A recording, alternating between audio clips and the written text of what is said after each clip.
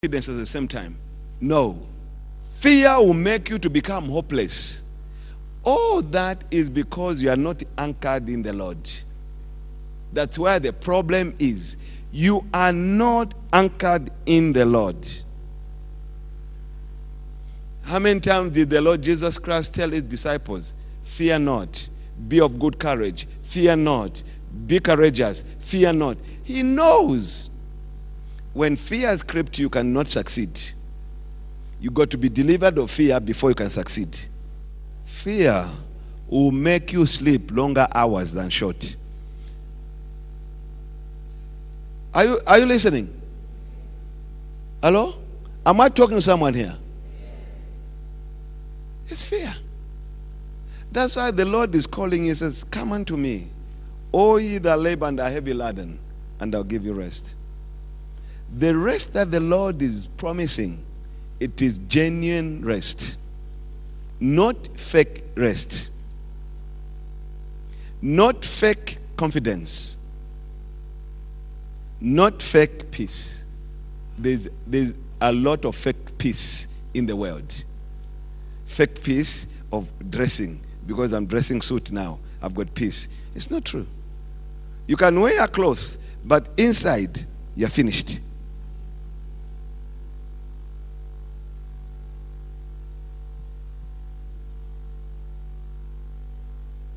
You see the way people talk, but you, because you got the Spirit of God in you, you can know that this one, though he's talking like this, there's no truth, full of fear. And there's got no foundation, this one. Those who have got foundation, they know what they are saying. They know where they are at. They know where they are going. They know where they belong. Find out from your neighbor. Do you know where you belong?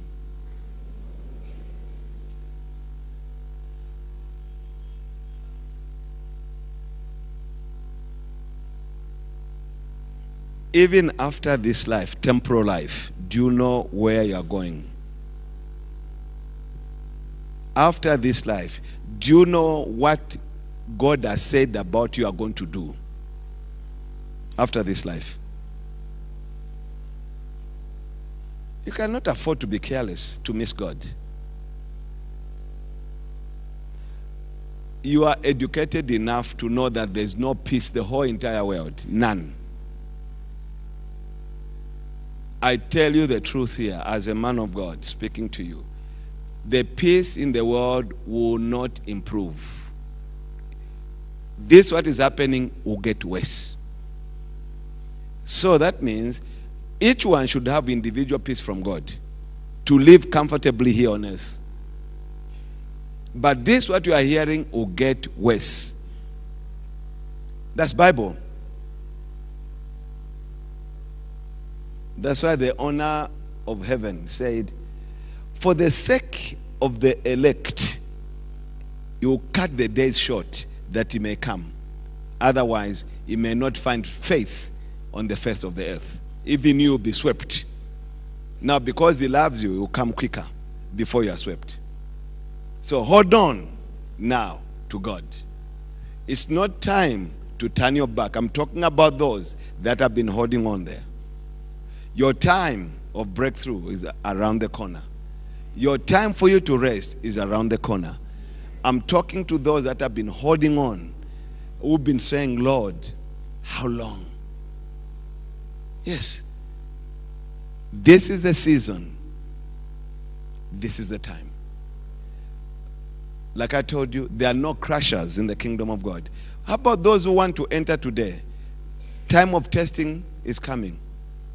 They should not just join us who are celebrating. They got to start also where they got to start. That's why salvation is personal. You ought to know, you yourself, where you are with the Lord.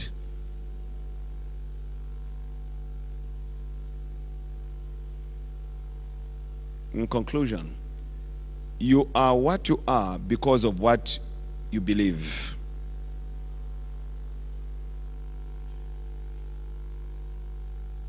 You are what you are because of what you believe. If you believe God, it will show. If you don't believe God, it will also show.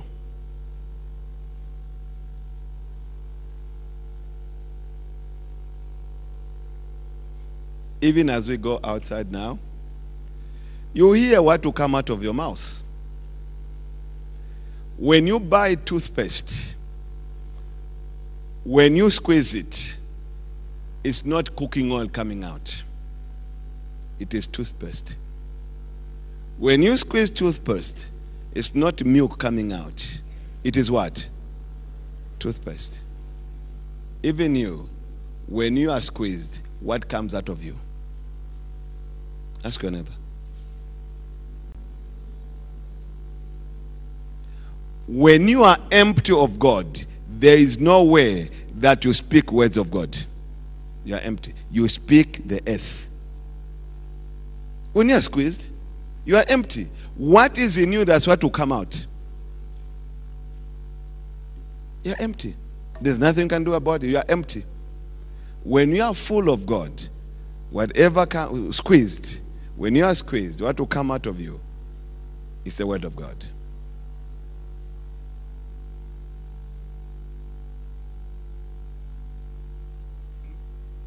What is possible for me as an individual depends on my capacity to believe God.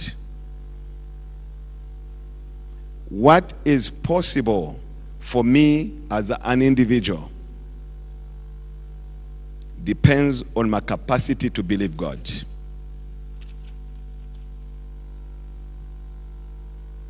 My capacity to believe God. That's why what is possible for me may not be possible for you because of your capacity to believe God. You may be believing man rather than God. While me, I look through man to see God.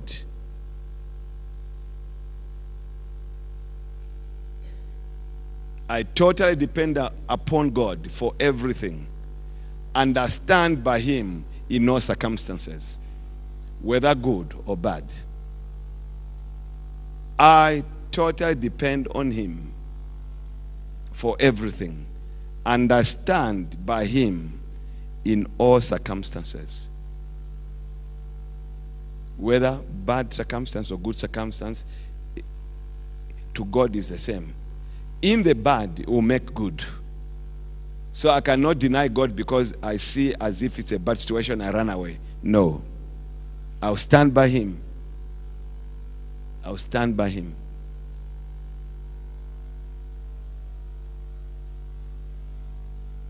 Whatever situation I'm in, I stand by God. And I totally depend on Him.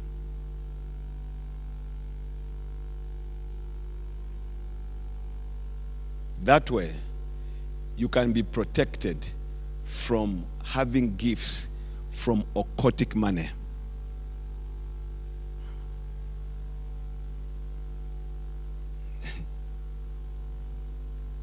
that way, you can be protected from receiving gifts bought by occultic money.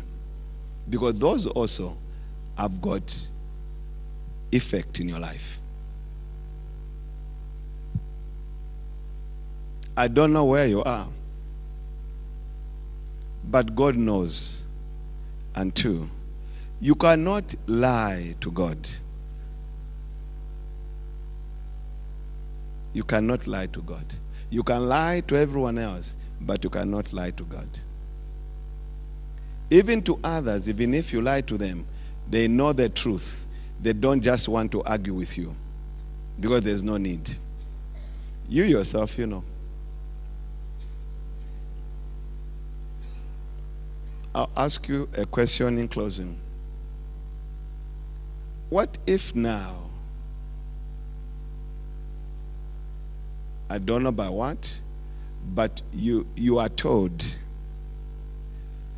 six, uh, 18 hours today, people are going to kill you, and it is certain. That's unchangeable. It is certain. 18 hours today, people are going to kill you today. Where are you going to run to? Find out from your neighbor.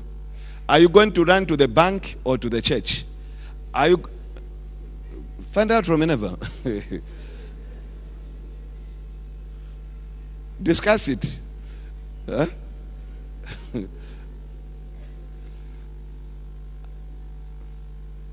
they said they're coming to your house.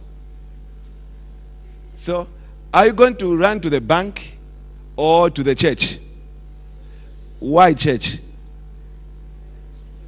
Can you see? Why not run to your contact? When death comes, there's nothing that the, your contact can do. Tell your neighbor.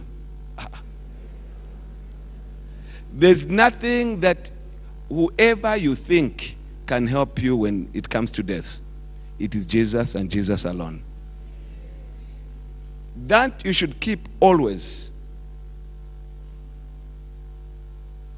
That's why it is risky to run away from Jesus because you may not return to him. If you return to him, you may be lukewarm. Your heart may be cold towards him, which is also very dangerous. Very, very dangerous. Your heart is not on fire for Jesus. You are just coming here as an insurance policy, Jesus, so that when I die, I won't go to fire.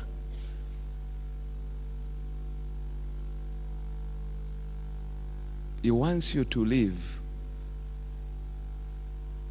the way He has designed you to live, Jesus, so that through your life, God will be glorified. Through your lifestyle, God be glorified.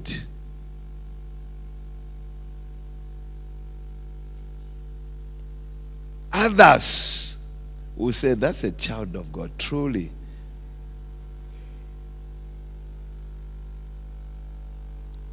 Thank you. I don't know where you are, but God knows. You are nearer now to arriving where you are going than where you are coming from. Do you know what will happen when you arrive? Are you certain? There, there are no groups, it's you. That's why death collects each one of us, individual by individual. And when you go, there's no return. Like I told you, don't use the name Jesus Christ like a charm. Don't use the name Jesus Christ as an incantation. Jesus Christ is a human being.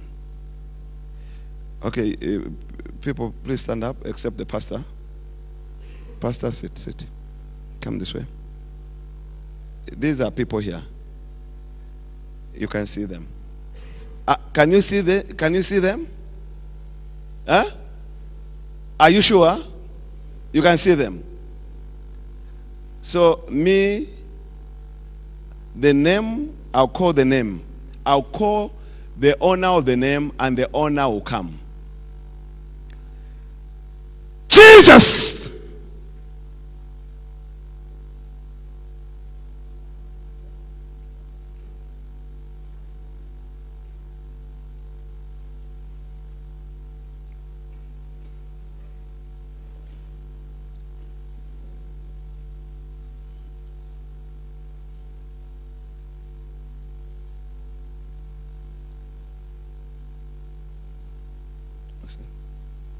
Even this one, now that's a power, contrary power in her. They have met with Jesus of light. That's why she's behaving like that. Something has been provoked in her. Now, this is the name you call.